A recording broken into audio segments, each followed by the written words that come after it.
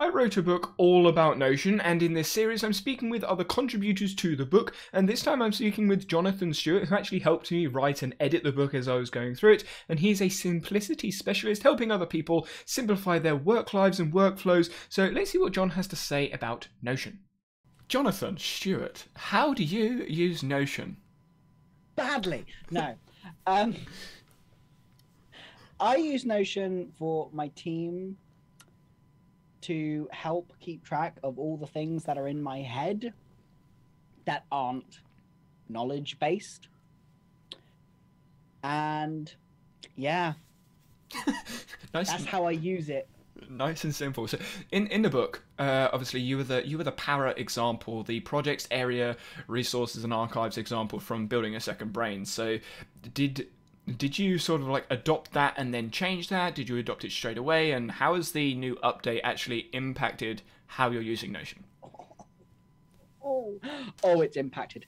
Um, so yes, I started with a very simple para setup. In fact, the template's still available. My original para system is still available for free, um, and it kind of molded quite a lot from there. What was originally, you know, projects, areas, resources. Um, the archive was a tick box. resources was originally just like my knowledge, the information that I have, documents that I had that I wanted to attach to clients. Very action based, as we were talking about in the thing we were recording before. Oh, behind the scenes. Um, but it's m- changed quite a bit since l- taking my knowledge, information, and management and idea generation and podcast production out of Notion, and is now kind of more of a. It's more of a projects and areas, a pa. it's a pa now. Um, and so my areas are what I call hubs. And these are things that need to keep my attention. These are things that I have to have in front of me that I need to see every day because if I don't see these things, they'll vanish. What I had when I originally had my Notion system was my projects were buried underneath, you know, tasks and and it was kind of from tasks to projects to areas and it became really difficult for me to remember what I was actually working on. And I had a massive list of like all the things I want to do as someone who likes to do lots of things and has lots of things on, on his mind and you and quickly puts ideas in for projects I want to do later. I want to be able to see them, but I have a series of really key things that I need to focus on. My business has shifted quite a lot in the last year and a half to be a little bit more focused on on a specific direction in a specific direction and so my system had to adapt to that it had to be adapted so that I could see all of the key players in my business that I have to have a good solid grasp on and understanding on. For example, all of the products that I have, the templates that I'm releasing, the the book that I'm writing, um, the podcast that I'm producing, the uh, and then some really timely stuff which could be seen as a project, but is something that has to be a big attention point for me. I do not stick to the para method very, very, very tightly at all. Um, I view it as kind of a a guideline.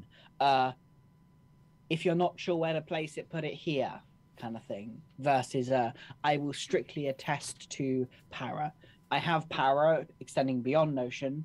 I have it as my Google Drive file system because it's easy for my team to access as well. That is a little bit more traditional projects, areas, resources, and archives, etc.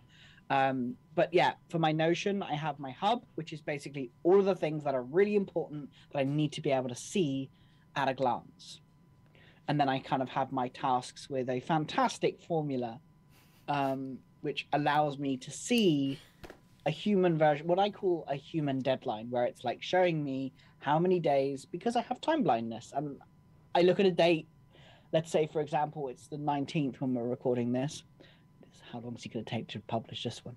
Um, the 19th, and if I see, you know, the 1st of April, I view that as a month's time when that's not actually the case. It's a couple of.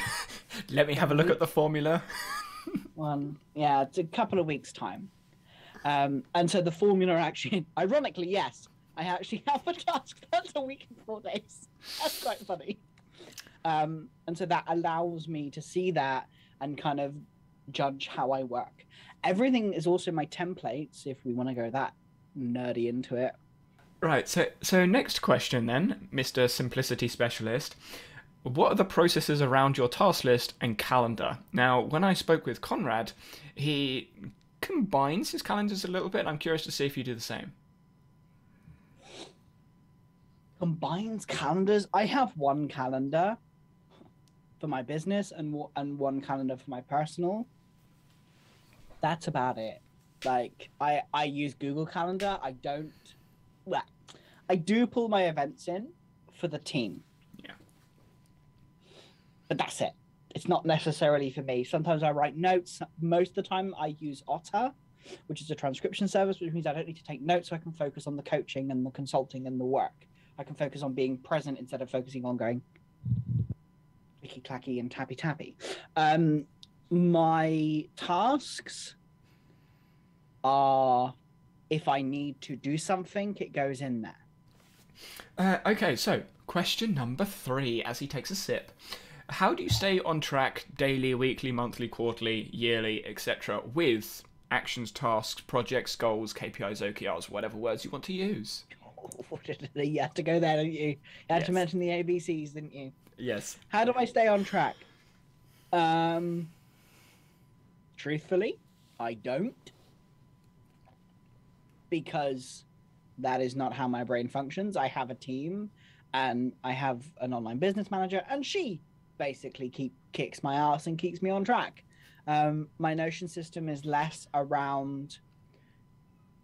It's less deadline driven and more extended cognition. Um, and more like an extension of my brain and more of a like this is a place to put things that i can play with. In terms of staying on track i'm in my notion every day. I am always in my notion. It is my single source of truth. So hate that it is it is the one place i go when i want to find everything that i want to do and things i need to do that's how I stay on track. And it's very much a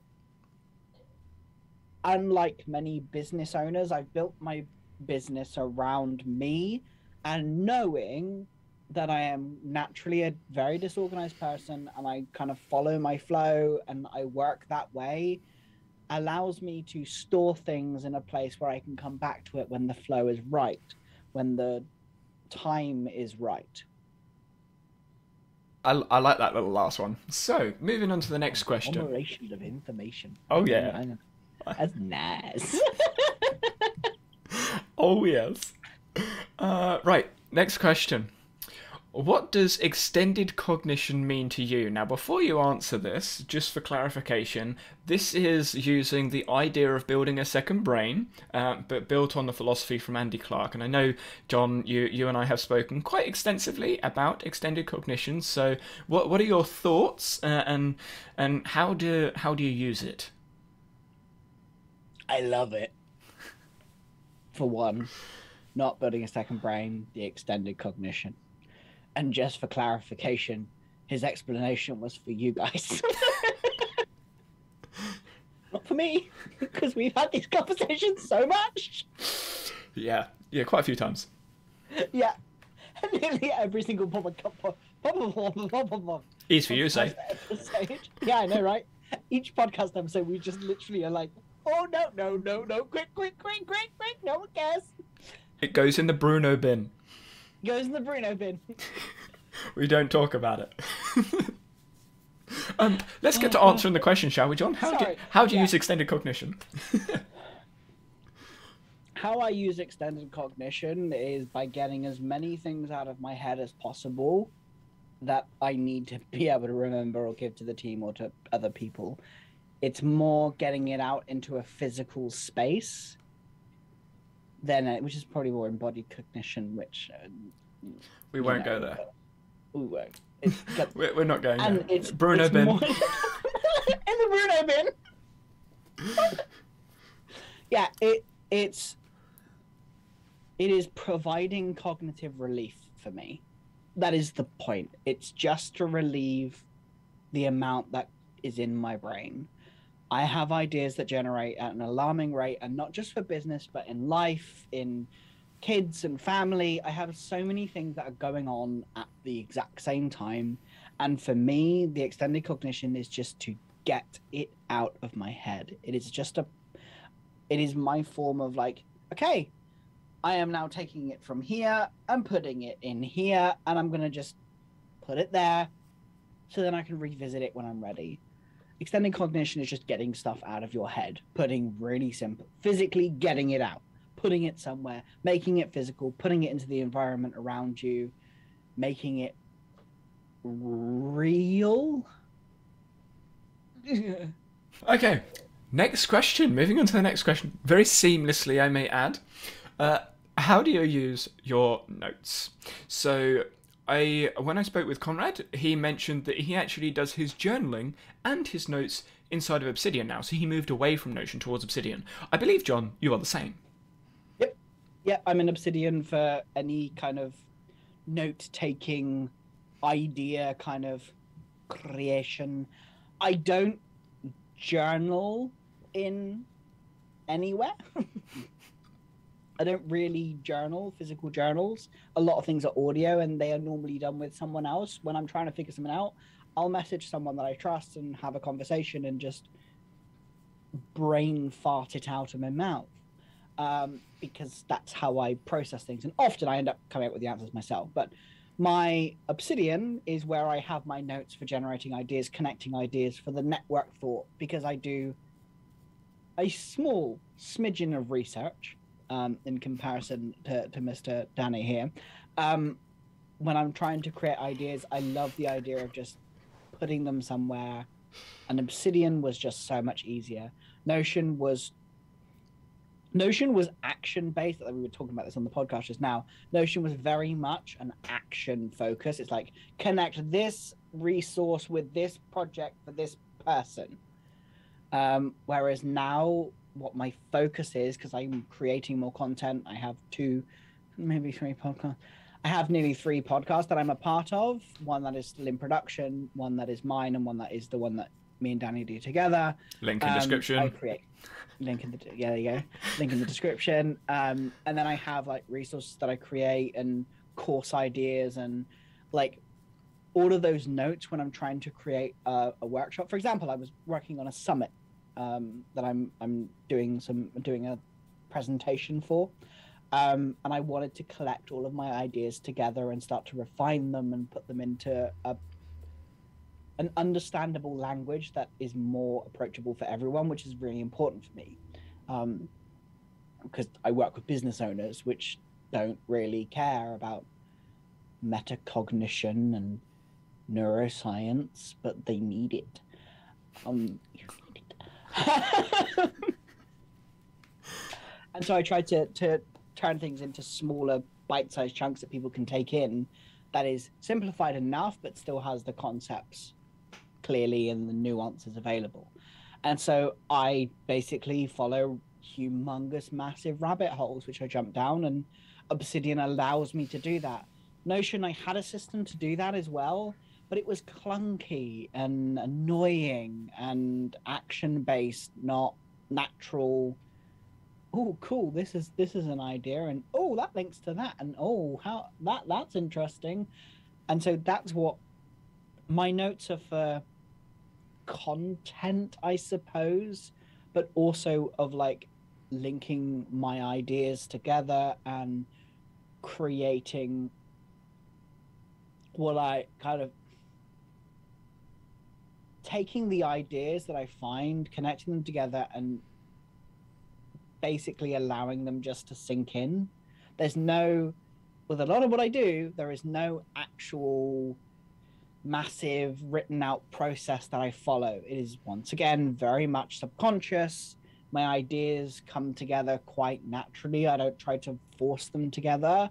I follow what what I am interested in um, which may mean sometimes my depth is shallow, but quite frankly, the my shallow is not very shallow.